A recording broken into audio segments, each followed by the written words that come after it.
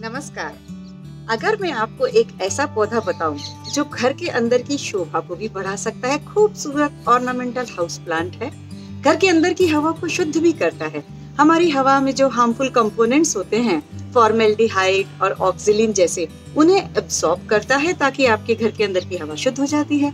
तो क्यों ना ऐसा पौधा हम घर में उगाएँ, और ऐसा पौधा है ये फाइकस आज हम फाइकस के बारे में सभी बातें करेंगे, उसे कैसे रखना है, क्या उसकी जरूरतें हैं, ताकि उसको बहुत अच्छे से उगा सके। तो बस देखते रहिए इस वीडियो को आखिर तक। मैं हूँ अंजना। वेलकम टू पार्क आगे चलने से पहले एक इन्फॉर्मेशन आपके साथ शेयर कर लेती हूँ। आने वाला मौसम ऐसा है, जब हमें अपने बगीचे में बहुत सारा काम करना है और काफ़ी रिक्वेस्ट आ रही थी बेसिक गार्डनिंग कोर्स रिपीट करने की। तो सेकेंड और थर्ड अक्टूबर जो कि सैटरडे एंड संडे है, उस दिन हम बेसिक गार्डनिंग का कोर्स कर रहे हैं। ये जो कंप्लीट कोर्स है, ये मैंने दो पार्ट्स में डिवाइड कर दिया है, क्योंकि एक पार्ट में बहुत ज़्यादा कंटेंट हो जाता है तो वो डाइजेस्ट नहीं हो पाता। तो पार्ट वन हम सैटरडे को कर रहे हैं सेकेंड अक्टूबर और पार्ट टू थर्ड अक्टूबर को संडे को। दोनों मिलकर के एक कंप्लीट कोर्स बनाते हैं। इसका लिंक मैं डिस्क्रिप्शन में दे दूँगी, आप वहाँ जाके साइन अप करके अपनी सीट बुक कर सकते हैं। तो बस जल्दी करिएगा और मिलेंगे सेकेंड थर्ड अक्टूबर में बेसिक गार्डनिंग कोर्स के साथ। अब चलते हैं अपने टॉपिक पर। ये फाइकस घर के अंदर भी रह सकता है, घर के बाहर भी रह सकता है। और क्योंकि घर के अंदर की कंडीशंस में भी ये ठीक से रह जाता है, इसीलिए आप होटल्स के अंदर लगाइए ऑफ़िस के अंदर लगाइए तो बहुत कम मेंटेनेंस में ये अंदर बहुत अच्छी हरियाली देता रहेगा। अच्छी बात यह है कि किस तरीके से लश ग्रीन पत्तियाँ होती हैं ग्लॉसी लीव्स होती हैं, चमकती हुई पत्तियाँ हैं, और ऐसे भरा रहता है। और इसको अलग अलग शेप्स में आप मेंटेन कर सकते हैं। इसकी आप टोपियारीज बनाएँ इसके बड़े बड़े पेड़ भी हो जाते हैं, लेकिन उसका छोटा सा बोनसाई भी बन जाता है। तो कितना अच्छा पौधा है, जिसे आप किसी भी तरीके से ढाल सकते हैं, लेकिन वो आपको बिल्कुल तकलीफ़ नहीं देता। आइए, अब इसकी एक एक चीज़ के बारे में बात करते हैं। सबसे पहले सनलाइट कैसी चाहिए? ये एक ऐसा पौधा है, जो कि लो लाइट कंडीशंस यानी कि ब्राइट लाइट में रहना पसंद करता है। तेज धूप डायरेक्टली इसको लगे, इसको जरा पसंद थोड़ा कम है। इसीलिए फिल्टर्ड लाइट में रखिए, ब्राइट लाइट वाले एरिया में रखिए और इसीलिए ऑफ़िस के अंदर भी आप इसे बहुत आसानी से लगा सकते हैं। इवन जहाँ थोड़ी सी ब्राइट लाइट आती है और अगर नहीं आती है तो आर्टिफिशियल ग्रो लाइट्स के ज़रिए भी फाइकस बहुत आसानी से उग जाएगा।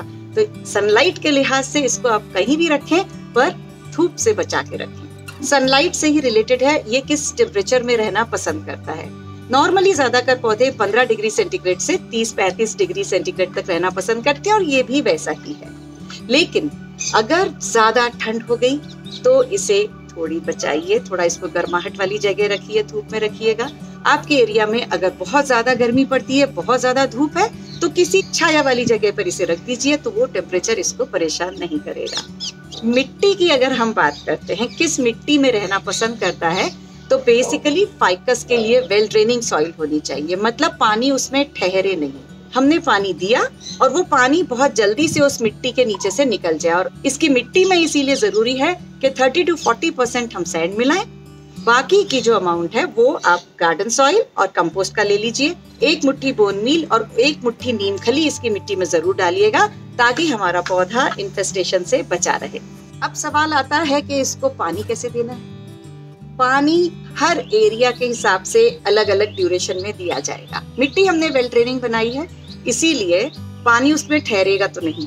लेकिन जब तक ऊपर से डेढ़ इंच नहीं सूखता, हमें इसमें पानी नहीं देना है। फाइकस कभी भी ओवर वाटरिंग पसंद नहीं करता। थोड़ा पानी कम रह जाएगा चल जाएगा, लेकिन अगर ज़्यादा पानी रहेगा तो फाइकस को ये पसंद नहीं आता। तो इसीलिए पानी इसे देख करके दीजिए, जब तक आपकी ऊपर की डेढ़ इंच की मिट्टी नहीं सूखती है, इसको पानी नहीं देना है। उसमें चाहे आपके शहर में कितने भी दिन लगते हैं वेट कीजिएगा। लेकिन जब भी पानी दें, थरो दें, क्योंकि जो इसका रूट स्ट्रक्चर है, वो बॉटम तक होता है। आप जितना बड़ा गमला लेंगे फाइकस की रूट्स उतना नीचे तक चली जाती है।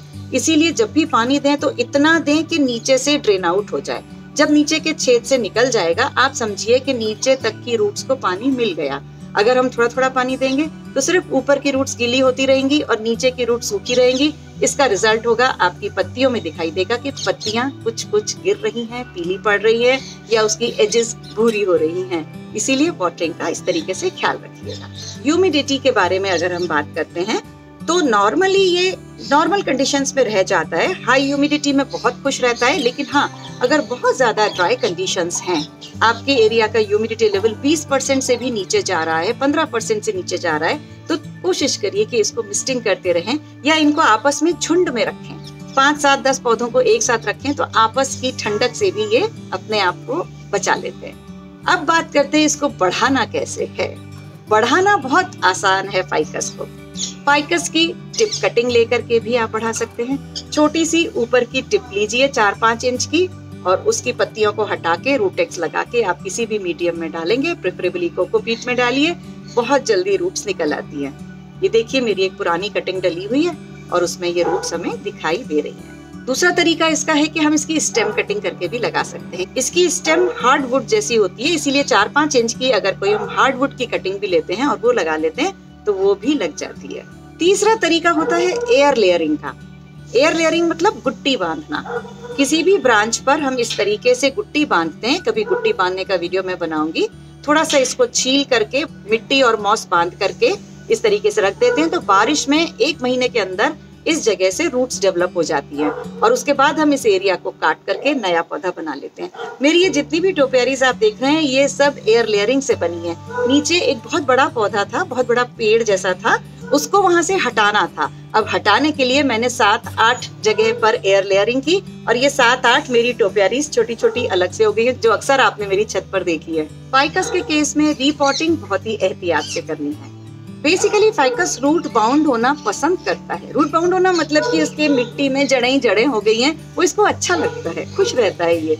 लेकिन अगर आप देखते हैं कि ड्रेनेज होल से बाहर रूट्स निकल के आ रही हैं तो वो वक्त होता है कि जब हमें इसे रिपोर्ट कर देना चाहिए। अब रिपोर्ट करने के दो तरीके हैं, या तो जो पूरा रूट बॉल निकला है, उसको हम एज इट इज़ दूसरे बड़े गमले में ट्रांसफ़र कर दें, या फिर दूसरा तरीका है कि इसकी जो रूट्स होंगी, उसको हम थोड़ा ट्रिम कर दें और वापस उसी गमले में डाल दें। आपको जो तरीका सूट करता है वो कर सकते हैं। लेकिन फाइकस बहुत ही प्यारा सा पौधा है, बहुत शांत जीव है।